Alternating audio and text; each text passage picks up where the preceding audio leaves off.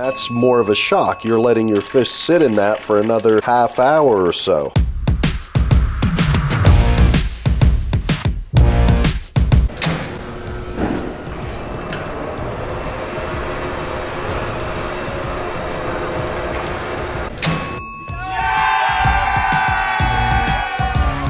I'm going to show you three fish that are great for nanos and I put them in my mushroom dominated 20 gallon. We'll talk a little bit about each fish. They're really good nano fish.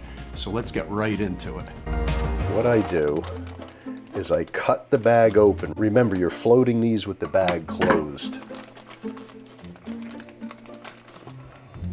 And I avoid trying to get my hands on the fish at all. So what I do is I take it out of the water and I close the bag just enough so the water will come out, but not the fish.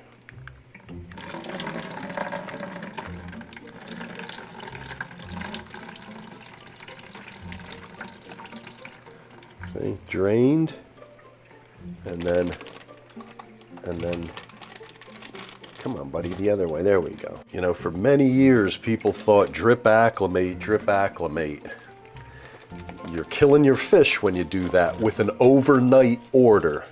If you're getting it from a local fish store, then no, that's different. Then you want to acclimate either drip or the other. But when you're doing it this way, as I said, ammonia is building up. And when you let oxygen into your water, the ammonia is going to increase and your pH is going to increase and that's more of a shock. You're letting your fish sit in that for another half hour or so.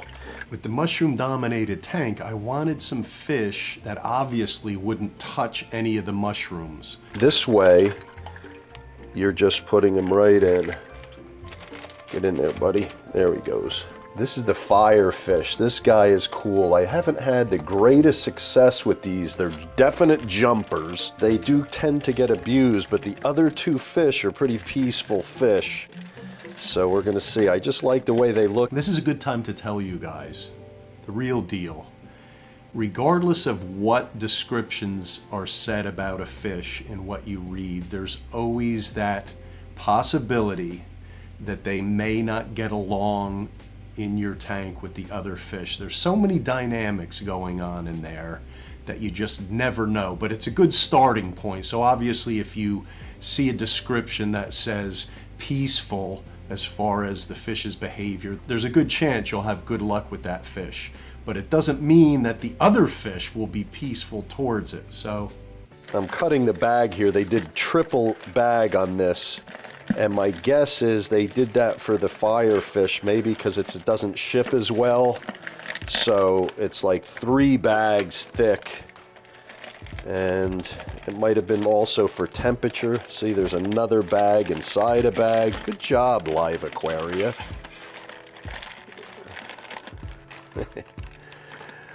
I have to say they're pretty good. They they're they come right on time, 1030 and they have arrive alive. You just take a picture if they're dead.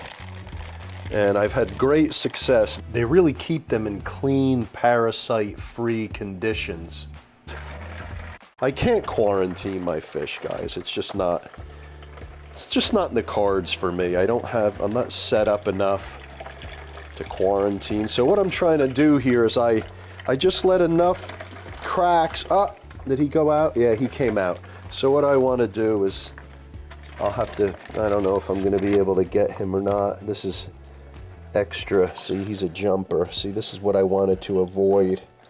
I got him. You want to avoid and put the top on with this guy because they are jumpers. I've had a few of them over the years jump, but they're such a cool looking fish.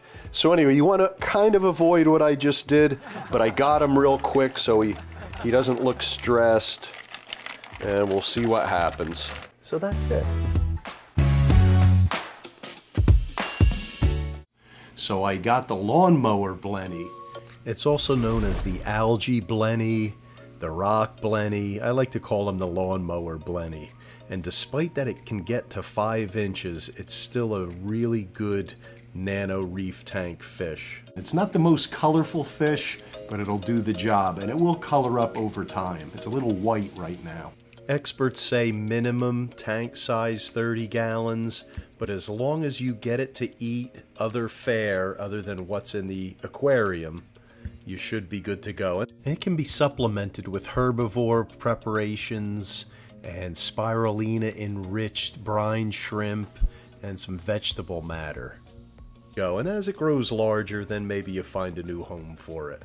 It's a really peaceful fish and it's only going to have problems if there's another similar fish in there with it, like another blenny.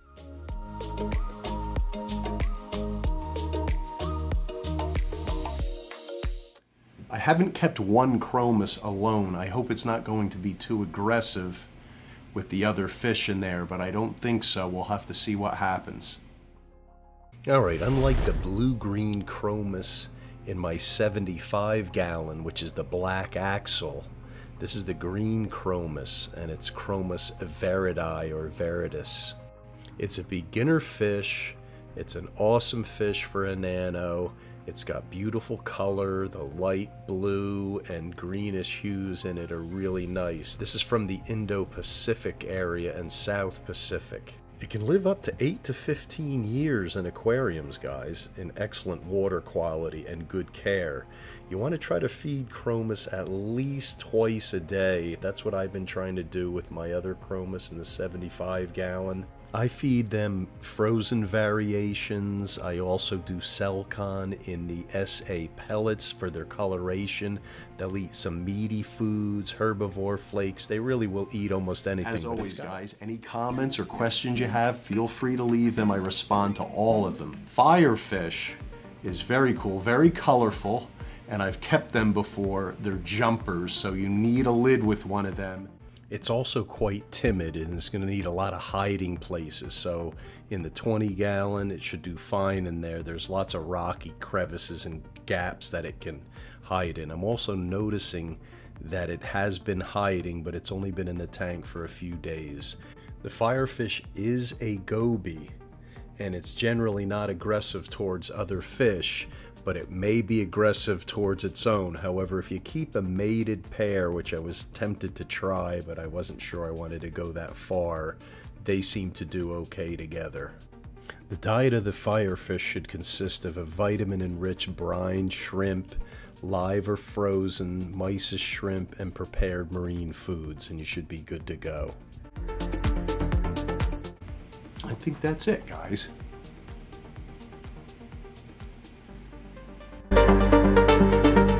I also got these fish because they were cheap, guys. $27, all under 30. It's hard to find fish for under $30 that look kind of cool and that you would want to keep.